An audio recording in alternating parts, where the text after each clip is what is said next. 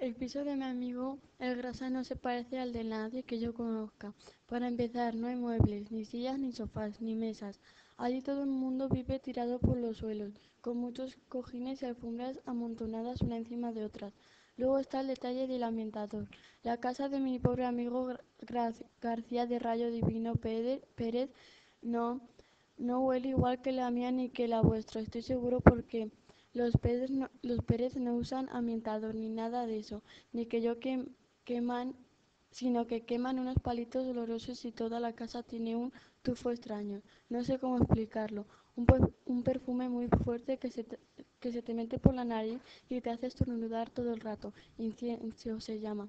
Y sale como un humo, humo blanco de unas tazas chinas que hay por todos lados.